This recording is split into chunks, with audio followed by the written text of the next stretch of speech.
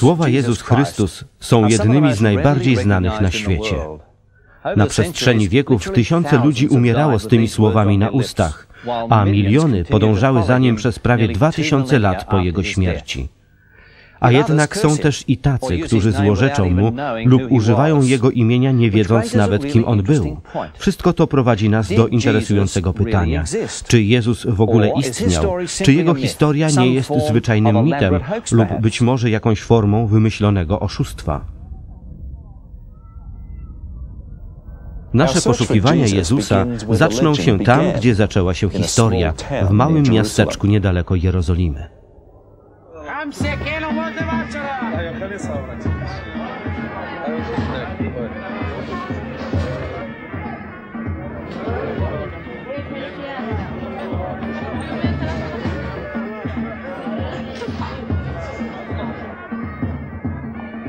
Dzisiaj Betlejem jest miastem pełnym turystów i ruchu. Ale dwa tysiące lat temu odbył się, zgodnie z dekretem cesarza Rzymu Augusta, spis ludności, który przyciągnął tłumy do Betlejem. Wszystkie gospody w Betlejem były pełne i jak podaje historia, Maria i Józef znaleźli miejsce w prywatnym domu, bardzo podobnym do tego. Rodzina żyła na piętrze, podczas gdy drób, owce i kozy spędzały noc na dolnej kondygnacji. Czysto i sucho. Było to zupełnie do przyjęcia przez ówczesne standardy.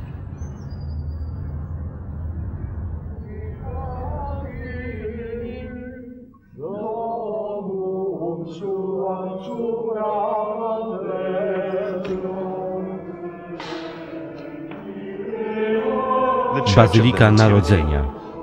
Oto prawdziwa atmosfera tego miejsca.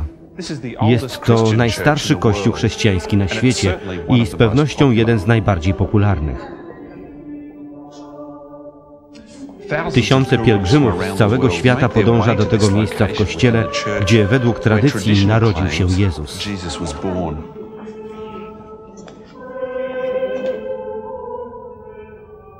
Panującym królem Żydów był wówczas Herod Wielki. To on zbudował tę fortecę na szczycie wzgórza niedaleko Betlejem. Nazwano je Herodium.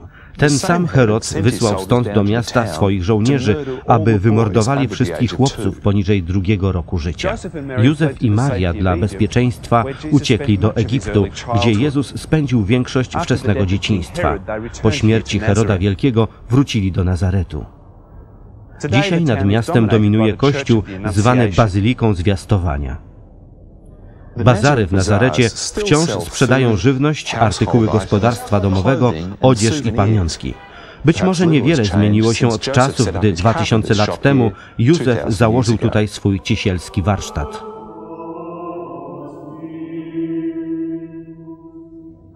Zaraz za główną ulicą Nazaretu znajduje się stara synagoga. Zbudowano ją na fundamentach starszej synagogi, być może tej, która stała tutaj w czasach Jezusa.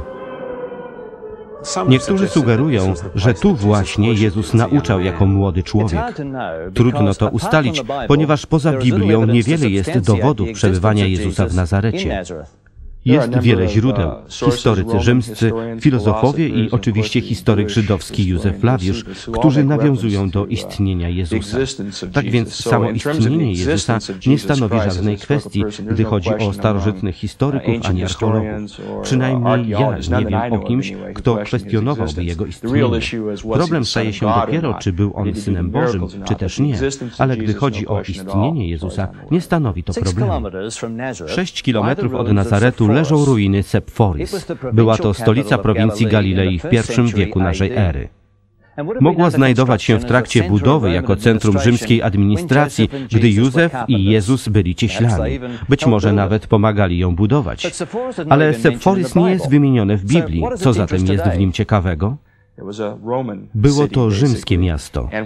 Intryguje jednak fakt, że miasto to znajdowało się tak blisko Nazaretu. W przeszłości bowiem ludzie myśleli, że Jezus był raczej człowiekiem niezwykle prostym, żyjącym na terenie rolniczym rzymskiej Palestyny. Nie był wystawiony na wpływy tak skomplikowanej kultury, z jaką spotyka się później w Jerozolimie, a która istniała na innych miejscach Cesarstwa Rzymskiego. Ale obecność tego pięknego miasta, znaleziono w nim bowiem wiele pięknych budynków, wspaniałych mozaik, rzemiosło na bardzo wysokim poziomie zaskoczyła archeologów, bo wskazuje na fakt, że Jezus znajdował się w centrum kultury znacznie bardziej rozwiniętej niż przypuszczano. Biblia sugeruje, że Jezus pracując w warsztacie stolarskim usłyszał o Janie Chrzcicielu. Udał się nad rzekę Jordan i został rozpoznany przez Jana jako baranek Boży, który gładzi grzechy świata. Jezus nalegał, aby kuzyn ochrzcił go w Jordanie i właśnie tak zaczęła się jego publiczna działalność.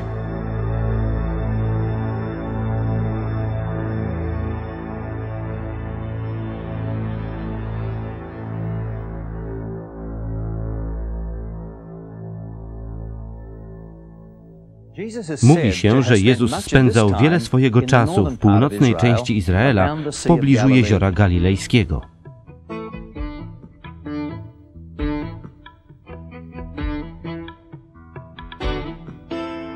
Jezioro Galilejskie zawsze było centrum miejscowego przemysłu rybackiego. Każdego ranka rybacy sprzedawali swoje połowy na wybrzeżu. Mężczyźni, podobni do tych, stali się pierwszymi uczniami Jezusa.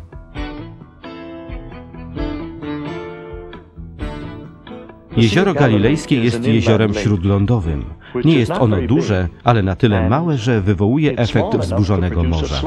Kiedy więc wiatr powiewa przez doliny z jednej strony i drugiej, spiętrza wodę w fale, które pędzą w przeciwnym kierunku, a powracając od brzegu uderzają o siebie. Jezioro więc bardzo szybko i łatwo zamienia się we wzburzone morze.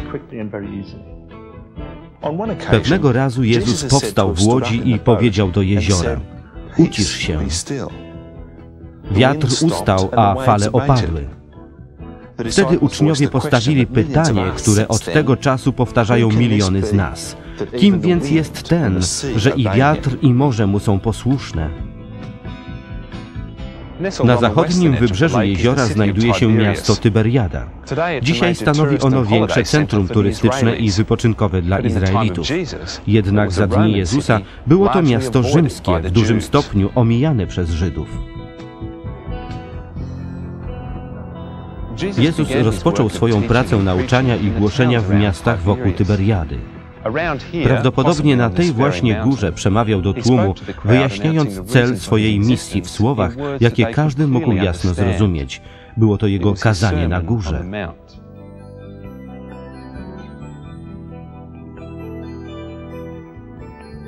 Mieszkańcy Kafarnaum chętnie słuchali jego nauczania. Archeolodzy odkryli tę synagogę pochodzącą z IV wieku, być może zbudowaną na miejscu oryginalnej synagogi z czasów Jezusa. Jeśli tak, jest to miejsce, na którym Jezus przemawiał.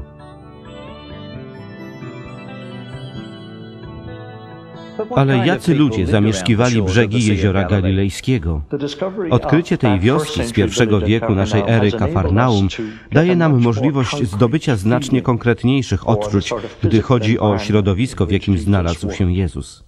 Była to bardzo uboga wioska. Jezus działał wśród bardzo biednych ludzi. A gdy zimne wiatry wiały od góry Hermon, która ma ponad 2800 metrów i na której śnieg zalega aż do maja, musiało to być bardzo trudne miejsce do życia. Gdy Jezus podróżował z Galilei do Jerozolimy, musiał przechodzić przez miasto Jericho. Mówi się, że na tej właśnie ulicy Jezus spotkał nieustępliwego celnika Zacheusza.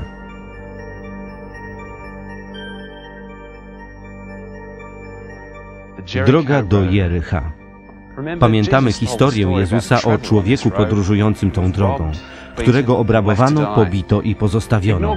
Zignorowany przez liderów religijnych tamtych dni, znalazł opiekę u znienawidzonego Samarytanina, który pełen troski zapłacił za jego utrzymanie w pobliskiej gospodzie. Droga z Jericha do Jerozolimy jest wyczerpująca.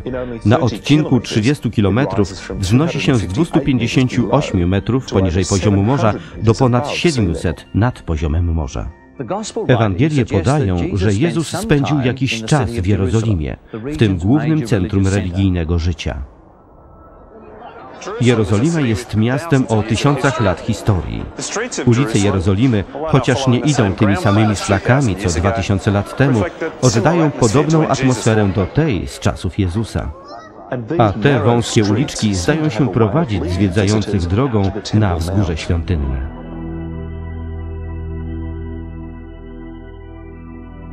Oto kopuła skały, trzecie najważniejsze miejsce dla społeczności muzułmańskiej.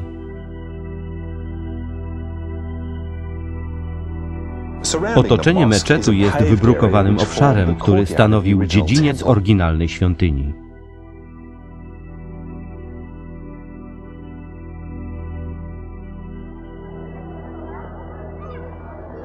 Całego świata przybywają tu ludzie, aby modlić się i zostawiać prośby w szczelinach tych starożytnych kamieni zachodniej ściany. Ściana jest centrum narodowych uroczystości, symbolem wybawienia i powrotu do ziemi obiecanej. Niektórzy Żydzi wyglądają Mesjasza, politycznego lidera, który pomoże rozwiązać obecne palestyńsko-izraelskie napięcia i przywróci pokój ich krajowi. Kamienie mają ponad metr szerokości i długości, ale ten ma 13 metrów długości i waży prawie 400 ton. Historyk Jerome Murphy O'Connor napisał popularny przewodnik po Jerozolimie. Jerozolima z czasów Jezusa miała mniej więcej taką wielkość, jaką ma dzisiejsze Stare Miasto. Sięgała dalej na południe, zaś nie tak daleko na północ. Ilość mieszkańców dzisiejszego Starego Miasta jest niemal taka sama, jaka była w czasach Heroda Wielkiego i w czasach Jezusa. Wynosiła więc 60-70 tysięcy. Obliczamy to na podstawie ilości wody, jaka wtedy była dostępna. Wiemy więc, że nie mogło być więcej ludzi, a raczej mogło być ich mniej. Jerozolima jest miastem konfliktu. Jednakże konflikt nie jest niczym nowym dla tej ziemi. Powiedziane jest, że gdy Jezus siedział na Górze Oliwnej i spoglądał na świątynię, zapowiedział zniszczenie Jerozolimy. Nie pozostanie tutaj kamień na kamieniu, który by nie został rozwalony. 40 lat później, w 70 roku naszej ery, rzymskie wojsko otoczyło miasto i oblegało je przez 6 miesięcy.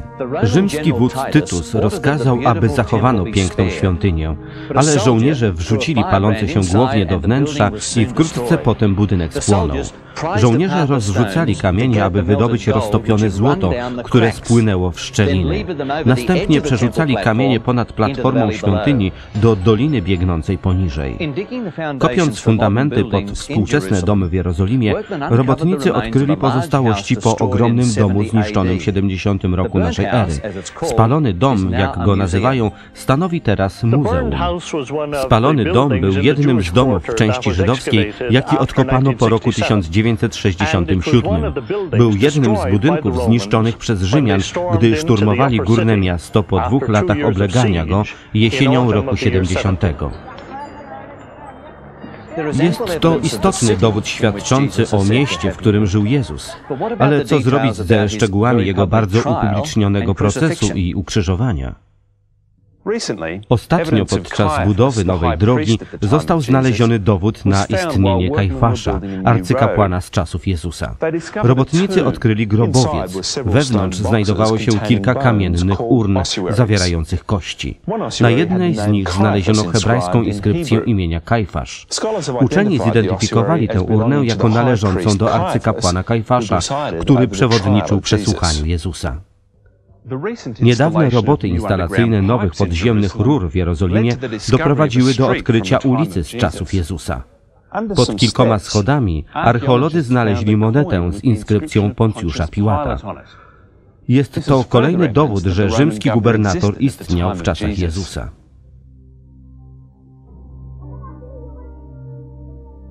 Nie była to jednak pierwsza wzmianka o Piłacie.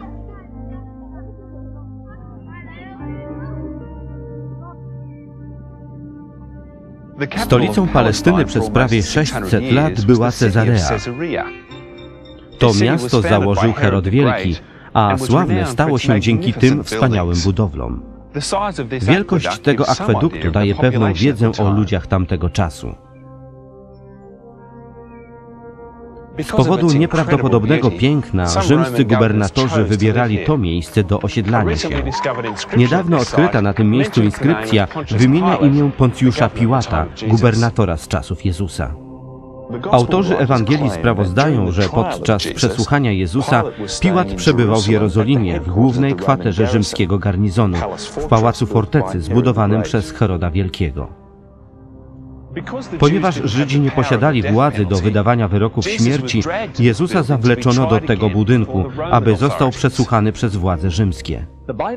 Biblijna relacja podaje, że Piłat wiedział, że Jezus jest niewinny, ale został złapany w sieć intryg i szantażu. Stawiając go przed tłumem na otwartym placu, oświadczył: Oto człowiek. Krzyk tłumu, ukrzyżuj go, było tym, co skazało Jezusa na śmierć. Umywając ręce od całej sprawy, Piłat rozkazał Jezusowi ponieść krzyż przeznaczony dla Barabasza, miejscowego kryminalisty. I tak Jezus rozpoczął swoją wędrówkę ulicami Jerozolimy.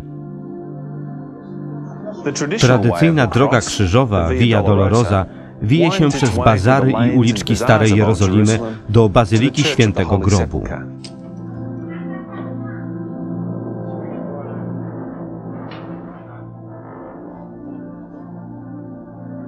Przez 1700 lat tradycyjnie łączono ten kościół z miejscem ukrzyżowania Jezusa. Wewnątrz bazyliki znajduje się odkryta skała, którą utożsamia się ze wzgórzem czaszki albo Golgotą w języku hebrajskim. Pod tą wielką rotundą znajduje się starożytny, wyciosany w skale grobowiec, uważany za grób Jezusa. Tradycja mogła dobrze zachować właściwe miejsce. Świątynia została później zniszczona, a bazylikę Świętego Grobu wybudowano na tym miejscu dopiero w IV wieku. Wykopaliska na tym obszarze wydobyły grobowce typowe dla tamtego czasu. Jeśli sprawozdanie Nowego Testamentu jest dokładne, to Jezus w ciągu 24 godzin wypełnił przepowiednie starotestamentowych proroków spisane na więcej niż tysiąc lat wcześniej. Nasuwa się tu interesujący wniosek. Prorocy z pewnością nie potrafiliby dokładnie przepowiedzieć śmierci Mesjasza bez pewnego nadnaturalnego prowadzenia. Z drugiej strony, ci żydowscy pisarze nie powoływaliby się na proroctwa Starego Testamentu o tych wydarzeniach, gdyby nie uwierzyli, że Jezus był Mesjaszem.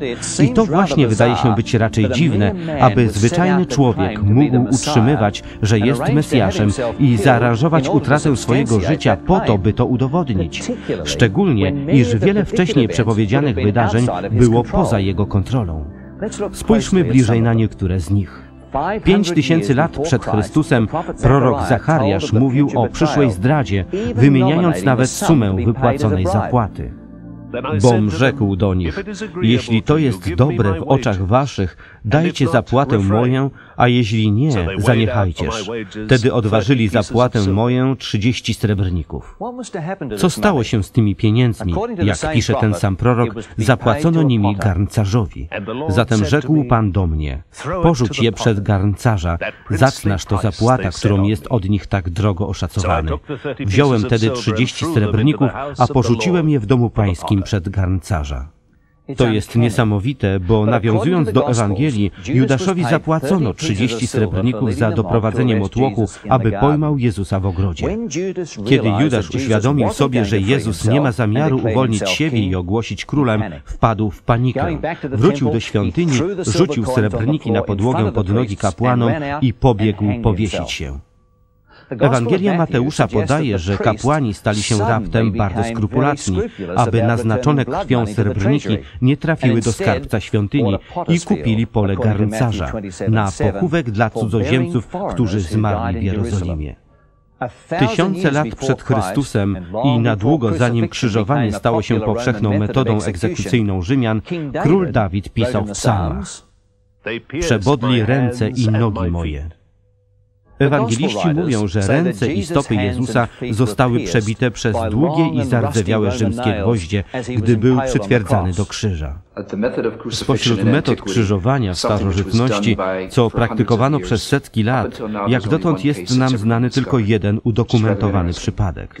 Jest to bardzo interesujące, bowiem pochodzi z Jerozolimy. Ma 2000 lat i zostało odkryte w roku 1968. To, co zostało znalezione, to kość pięty młodego człowieka, który został ukrzyżowany. Patrząc na to, widzimy kość prawej nogi przebitą gwoździem. Główkę gwoździa poprzedzał kawałek drewna. Gwóźdź przeszedł przez kość, potem przez drzewo, a na końcu został zagięty, aby nie można go było usunąć. Patrząc na ten model, będzie nam nieco łatwiej to zrozumieć. Oto mamy kość prawej stopy, mamy gwóźdź o długości około 15 cm. Przebijano go najpierw przez podkładkę z drewna oliwnego, nadal to widać po dwóch tysiącach lat, a później przybijano stopę z zewnętrznej strony do drzewa. Tak więc człowiek obejmował drzewo lewą i prawą stopą. Można było go zdjąć z drzewa, ale nie dało się wyjąć gwoździa. Powodem, dla którego mamy do czynienia jak dotąd tylko z jednym znanym przypadkiem w świecie, jest to, że większość skazańców była zwykle przywiązywana do drzewa podczas krzyżowania. Dla przykładu, gdy patrzymy na chrześcijańskie ikony, to co widzimy? Że dobry i zły łotr byli przywiązywani. Jedynie Jezus został przybity do krzyża. To, z czego w większości ludzi nie zdają sobie sprawy, to to, że można było ukrzyżować kogoś i spowodować jego śmierć po kilku minutach, ale można też było spowodować jego śmierć po kilku dniach. Zależało to od sadyzmu ludzi i od tego, ile osób oczekiwało jeszcze w kolejce na skazanie. Jeśli weźmiemy młodego człowieka, któremu w taki sposób zwiążemy ręce i przywiążemy do belki, śmierć nastąpi prawdopodobnie w ciągu jednej godziny poprzez uduszenie. Jeśli jeszcze podtrzymamy jego stopy, aby nie mógł się podnosić i opuszczać, wtedy śmierć nastąpi w ciągu 6 do 10 minut. Z drugiej strony, jeśli chcecie, aby umierał przez długi czas, wystarczy mu rozciągnąć ręce, być może przygotować też podparcie, na jakim będzie mógł siedzieć. Jest wiele sposobów wykonania takiej kary. Możecie człowieka trzymać tak przez całe godziny, ale możecie go trzymać także przez całe dnie. W takiej pozycji ciało przechodzi przez tak zwany szok niedotlenienia. i to stanowi przyczynę śmierci. Przez całe lata wielu rościło sobie prawo do posiadania wiedzy na temat dokładnego miejsca Golgoty i grobu Jezusa. Niektórzy chrześcijanie wskazują na inne położenie tradycyjnego miejsca ukrzyżowania. To wzgórze czaszki znajduje się na północ od bramy damasceńskiej. Tutaj, na tej kamienistej stromiźnie, wiatr wyżłobił kształt dwóch oczu i nosa, coś na kształt czaszki. Po raz pierwszy skałę tę utożsamił z Golgotą generał Gordon z Hartumu. Stąd nazwano ją Kalwarią Gordona, co jest łacińskim odpowiednikiem słowa czaszka. Dobrym przykładem grobowca z pierwszego wieku naszej ery jest rodzinny grobowiec Heroda Wielkiego w zachodniej części Jerozolimy. Przy wejściu znajduje się okrągły kamień, który przytoczono do otworu, aby zapieczętować grobowiec. Jest on podobny do tego, w którym, jak napisano, pochowano Jezusa. Właściwie nie ma to znaczenia, gdzie faktycznie znajdował się grób Jezusa. O wiele bardziej interesujące jest to, że Nowy Testament utrzymuje, iż powstał on z grobu. Ludzie próbowali w różny sposób wyjaśnić to, że Jezus nie umarł albo nie powstał z martwych. Bardzo powszechnym poglądem, który rozpowszechnił ostatnio pewien australijski uczony, jest zdanie, że Jezus zemdlał na krzyżu. Bowiem w pierwszym wieku uh, naszej ery żołnierze rzymscy i ludzie patrzący na to nie zdawali sobie sprawy, że jest to jakiś rodzaj śmierci klinicznej. Nie sądzę, że to można brać pod uwagę, bowiem gdy uważnie czytamy sprawozdanie Ewangelii, setnik rzymski upewnił się, że Jezus umarł.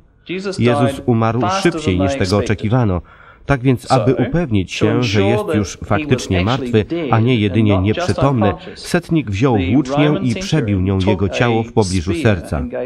Tak więc jest oczywiste, że Jezus umarł. W istocie nie wiemy dokładnie, co się wydarzyło, ale z punktu widzenia tekstu Nowego Testamentu znajdujemy prawdę na ten temat. Chaotyczne relacje są zgodne z typowymi zeznaniami naocznych świadków.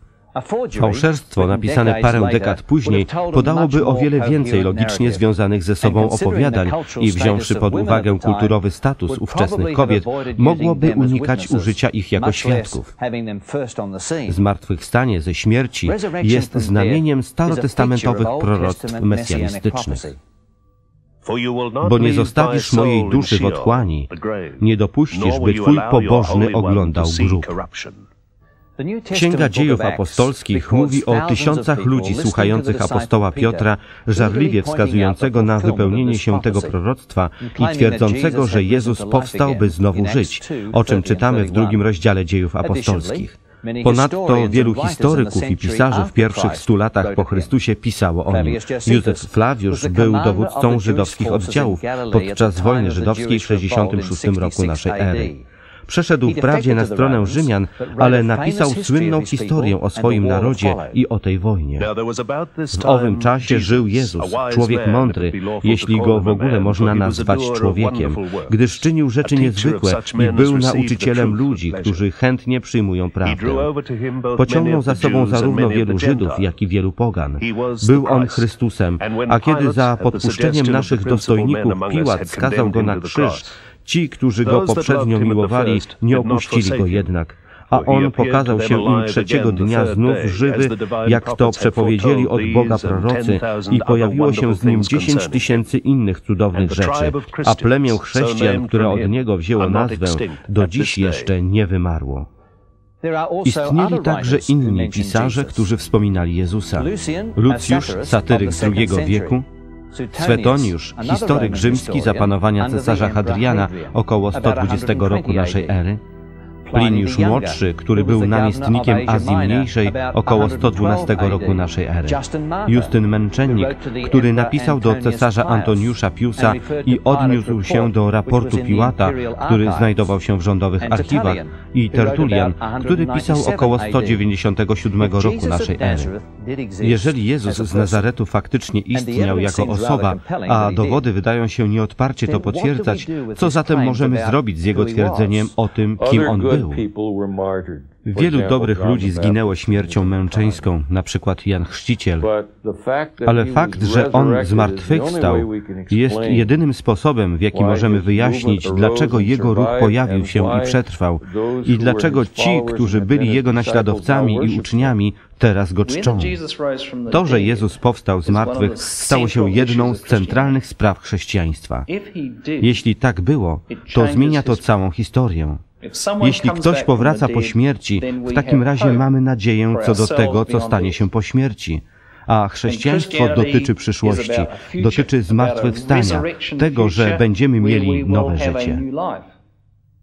Uh, Tacy ludzie jak na przykład Aleksander Wielki mieli niesamowity wpływ na historię ze względu na swoją pozycję, ze względu na swoją siłę i w konsekwencji tego ze względu na swoje podboje. Ale wpływ Jezusa nie polega na żadnej z tych rzeczy.